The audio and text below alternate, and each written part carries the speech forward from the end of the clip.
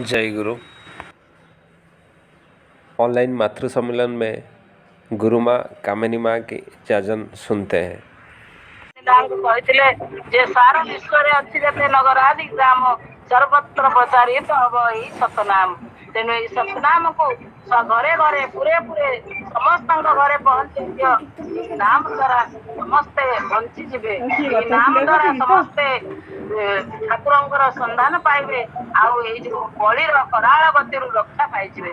ତେଣୁ ଠାକୁର ଦୟା କରିକିରି ଆଜି ଆଚାର୍ଯ୍ୟ ଦେବଙ୍କର ଆହ୍ୱାନ ସାଢେ ତିନି କୋଟିର ଦୀକ୍ଷା ଏଇ ମାତୃ ସମ୍ମିଳନୀ ମା ମାନଙ୍କୁ ଆମେ ଯୋଉଠି କରୁଛେ ଆମେ କିଏ ଇଷ୍ଟବୃତ୍ତି ତ ଛାଡି ଦଉଛି କିଏ ଇଷ୍ଟବୃତ୍ତି କରୁନି ତେଣୁ ତାକୁ ଆମେ ତାଙ୍କ ଆମ ପଡା ପଡୋଶୀ ପାଖାପାଖି ଯେତିକି ମା ମାନେ ଆମ ପାଖରେ ଅଛନ୍ତି ତାଙ୍କୁ ଆମେ ଟିକେ ଠାକୁରଙ୍କ ଭାବଧାରାରେ ଭାବାୟିତ କରି କେମିତି ସେମାନେ ପ୍ରତି ମାସରେ ସେଇ ଇଷ୍ଟବୃତ୍ତି ଘରେ ରଖିଥାନ୍ତୁ ଠାକୁରଙ୍କୁ ସମର୍ପଣ କରନ୍ତୁ ଆଉ ଦୀକ୍ଷା ନ ନେଇଥିବା ଲୋକ ଠାକୁରଙ୍କୁ ଜୀବନରେ ଯିଏ ବୁଝିନି ତାକୁ ଟିକେ ଭଲ କଥା କହି ତାକୁ ସେବା ଭିତର ଦେଇ ତାକୁ ଠାକୁରଙ୍କ ଚରଣ ତଳକୁ ଆଣିବା ଏହା ହିଁ ହଉ ଆମର ଲକ୍ଷ୍ୟ।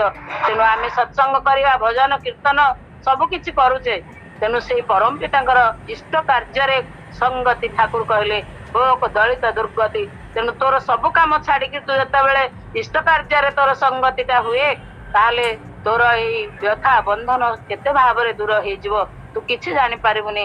ତେଣୁ ଅନ୍ୟକୁ ବଞ୍ଚାଇ ନିଜେ ରହେ ଜାଣିଥା ଧର୍ମ ତାକୁ ହିଁ କହିଲେ। ଧର୍ମ ଶିକ୍ଷା ଦୀକ୍ଷା ବିବାହ ଠାକୁର ସବୁ କଥା ହିଁ ଦେଇଛନ୍ତି।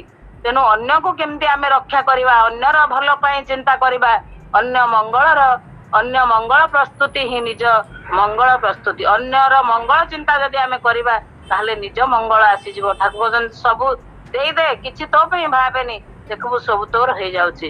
ତେଣୁ ଆମେ କରିକିରି ସେଇ ଯୋଉ ବାଣୀ ଭିତରେ ଯୋଉ କଥା ଆମକୁ ଦେଇଛନ୍ତି ଆମେ ତାକୁ କରିବା ଭିତର ଦେଇ କରିଲେ ଆମେ ପାଇବା। ଭାବା ବୋଲା କରା। ଭାବିବା ଯାହା ବୋଲିବା ସେଇଟା କରିବା ସେଇଟା। ମୁଁ ଆଜି ଭଲ ଚିନ୍ତା ଠାକୁର ଦେଲେ ଯଜନ ଯାଜନ ଇଷ୍ଟଭୂତି ସ୍ୱସ୍ତୟନୀ ସଦାଚାର। ଏଇ ପାଞ୍ଚଟା ଅସ୍ତ୍ର ଆଣି ଆମ ପାଖରେ ଦେଲେ। ମୁଁ ମୋ ଚିନ୍ତାଧାରାରେ ଯଦି ଗୋଟେ ଭଲ ଚିନ୍ତା ଆସିଲା ମୁଁ ଆଜି କିଛି ଭଲ କାମ କରିବି। ଏଇ ମୁହୂର୍ତ୍ତରୁ ଠାକୁର କହୁଛନ୍ତି ସଦୀକ୍ଷା ତୁ ଏକ ନେ ଇଷ୍ଟତେ ରଖ ସମ୍ପ୍ରୀତି ମରଣ ତାରଣ ଏ ମନ୍ତ୍ର ଜପେ ନାମେ କଟା କାଟେ ଅକାଳ ଜମ ଭୀତି। ତେଣୁ ସତ ଦୀକ୍ଷା ସତନାମଟା ଭଲ ଜିନିଷଟା ତୁ ସାଙ୍ଗେ ସାଙ୍ଗେ ମୁହୂର୍ତ୍ତ ଡେରି କରିବୁନି। ସାଙ୍ଗେ ସାଙ୍ଗେ ତାକୁ ତୁ ଗ୍ରହଣ କର। ଗୁରୁ ଯୋଉ ଅମୂଲ୍ୟ ସମ୍ପଦ ଦେଇଛନ୍ତି ଯୋଉ ନାମ ଅଷ୍ଟାଦଶ ସ୍ତରର ନାମ ଆଣିଛନ୍ତି ତାକୁ ଆମେ ଯଦି ଶ୍ରଦ୍ଧା ପ୍ରୀତିର ସହିତ ତାଙ୍କୁ ଟିକେ ଜୀବନରେ ଭଲ ପାଇଯିବା ସେଇ ପ୍ରେମ ଭଲ ପାଇବା ଭିତର ଦେଇ ସେ ବସ ହେଇଯାଆନ୍ତି। ସେଦିନ ଭକତ ବିଦୁର ବିଦୁରୀ ଆଣି କଣ କରିଛନ୍ତି? ନା ବିଦୁର ଗାଧେଇବାକୁ ଯାଇଛନ୍ତି। ପାଚିଲା କଦଳୀ ଅଛି କୃଷ୍ଣ ଠାକୁର ଯାଇକି ତାଙ୍କ ଘରେ ପହଞ୍ଚି ଯାଇଛନ୍ତି। ଏତେ ବିଭୋର ହେଇ ଯାଇଛନ୍ତି ଭକ୍ତିରେ ପାଚିଲା କଦଳୀ କି ଛଡେଇ ଚୋପା ଗୁଡା ସବୁ ଠାକୁରଙ୍କୁ ଖୋଇ ଦେଇଛନ୍ତି କଦଳୀ ଗୁଡା ପଡିଛି ସେ ତ ଭାବଗ୍ରାହୀ ଭାବ ନିଅନ୍ତି ଚୋପା ଖାଇ ଖୁସିରେ ଯାଇଛନ୍ତି ମହ ମହ ହେଇ ଘର ବାସୁଛି ବିଦୁରା ଆସି କହିଲେ ଆଲୋ ତୁ କଣ କଲୁ? ନା ପରା ଆସିଥିଲେ ଠାକୁର କୃଷ୍ଣ ଠାକୁର ତାଙ୍କୁ ଖୋଇ ଦେଇଛି ସବୁ। କଦଳୀ ପାଚିଲା କଦଳୀ ଦେଇଛି ଖୋଇ। ନା ଆରେ ତୁ କଦଳୀ ଖୋଇଛୁ ନା ଚୋପା ଦେଇଛୁ ଠାକୁରଙ୍କୁ? ଦେଖିଲା ବେଳକୁ ଏତେ ତନ୍ମୟ ହେଇ ଯାଇଥିଲେ ଯେ ଚୋପା କହିକିରି କହିଲେ ମୁଁ କଣ କଲି? ମୁଁ ଚୋପା ଗୁଡା ମୋ ଠାକୁରଙ୍କୁ ଖୋଇଦେଲି ମୁଁ ତ ଚୋପା ଖାଉନି ଦେଇଦେଲି। କେମିତିଆ ଭାବ ଦେଖନ୍ତୁ ତେଣୁ ସେ ତ ଭାବଗ୍ରାହୀ। ସେଦିନ ସବରୀର ସେଇ ଉଚ୍ଚିଷ୍ଟ ଫଳକୁ ଗ୍ରହଣ କରିଥିଲେ। ସେଦିନ ସୁଦାମାର ଖୁଦ ଭଜାକୁ ନେଇ ଯାଇଥିଲେ ଅତି ମାନେ କେତେ ଜନ୍ମର ସେଇ ଯୋଉ ଦାରିଦ୍ରତା ଦୂର ହବା ପାଇଁ ସେ ଯୋଉ ଖୁଦ ମୁଠାକ ତାଙ୍କ ପାଖରେ ପହଞ୍ଚିବା ନ ପର୍ଯ୍ୟନ୍ତ ଯୋଉ ଗୁରୁ ସାନ୍ଦୀପନୀ ତାଙ୍କୁ ପଠେଇଥିଲେ ଗୁରୁମା ଯାଇଥିଲେ ଜଙ୍ଗଲ ଭିତରକୁ ଯୋଉ ମୁଢି ଖାଇ ଦେଇଥିଲେ ଯୋଉ ଖୁଦ ଭଜା ଖାଇ ଦେଇଥିଲେ ସେଇଟା ତାଙ୍କ ପାଖରେ ନ ପହଞ୍ଚିବା ପର୍ଯ୍ୟନ୍ତ ତାଙ୍କ ଦାରିଦ୍ର ସୁଦାମାଙ୍କର ଯାଉନି।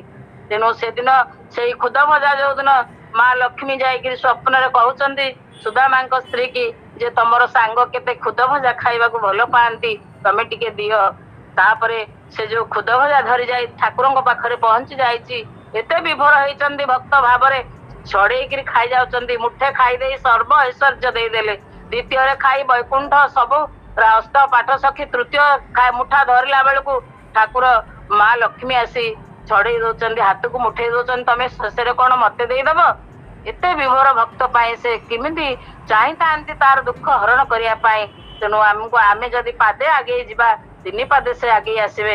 ଆମେ ଯଦି ଶ୍ରଦ୍ଧା ପ୍ରୀ- ପ୍ରୀତିରେ ସେଇ ଭକ୍ତି ପୁଷ୍ପ ଜଳ ଦେଇକିରି ତାଙ୍କ ପାଖରେ ହୋଇଦବା ଭକ୍ତି ପ୍ରୀତି ଅର୍ଘ୍ୟ ଯୋଉ ଇଷ୍ଟ ବୃତ୍ତି ତାକୁ ଯଦି ଆମେ ନିଷ୍ଠାର ସହିତ ବ୍ରାହ୍ମ ମୁହୂର୍ତ୍ତରେ ଉଠି ସେଇ ଭକ୍ତି ନୈବେଦ୍ୟ ସେଇ ଦେବ ଥାଳିଆରେ ପ୍ରଥମେ ଥୋଇଦବା ତାହେଲେ ଆମ ଘରକୁ ଆଉ ବିପାକ ଆସିପାରିବ ନାହିଁ।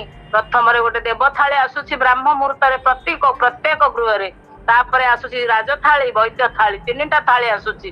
ତେଣୁ ଠାକୁର ଦୟାଲ ଦୟା ପରବଶ ହେଇକିରି ଆମକୁ ସେ ଦେବ ଥାଳିରେ ପ୍ରୀତି ଅର୍ଘ୍ୟକୁ ପ୍ରଥମେ ତମେ ସର୍ବ କର୍ମ ଆରମ୍ଭରେ ତାଙ୍କୁ ଯଦି ଆମେ ସେଇ ଦେବ ଥାଳିଆରେ ଶୁଦ୍ଧ ସଦାଚାର ହେଇ ବ୍ରାହ୍ମ ମୁହୂର୍ତ୍ତରୁ ଉଠି ନାମ ଧ୍ୟାନ କରି ଯଦି ସେଇ ପବିତ୍ର ଦେବ ଥାଳିରେ ଯଦି ଟିକେ ପ୍ରୀତି ଅର୍ଘ୍ୟ ଦିଏ ଚାଉଳ ମୁଠେ ଦିଅ ବା ପଇସା ଦିଅ ଠାକୁରକୁ ତ କହୁଛନ୍ତି ଯେ ଗୋଟିଏ ଲୋକର ଆହାର ଯେମନ ଇଷ୍ଟବୃତ୍ତି କରିବୁ ତେମନ।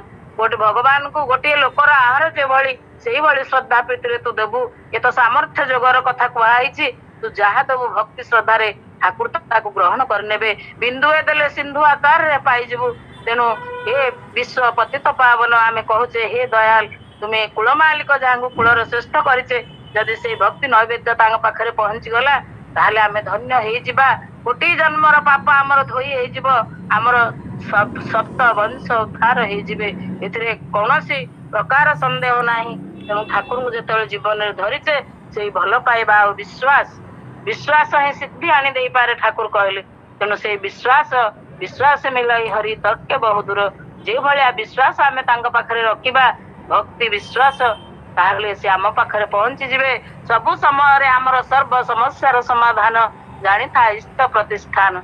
ଇଷ୍ଟଙ୍କୁ ଯିଏ ମାଥରେ ବହିକିରି ତାଙ୍କର ପ୍ରତିଷ୍ଠା ପାଇଁ ସବୁବେଳେ ତାର ପ୍ରାଣ କାନ୍ଦେ ତାଙ୍କ କର୍ମ ଯଜ୍ଞରେ ଯିଏ ଯୋଗାଣ ଦିଏ ତାର ତା ନିଜ ପାଇଁ ଆଉ କିଛି ଚିନ୍ତା ନଥାଏ। ଠାକୁର ସବୁ କରିନିଅନ୍ତି।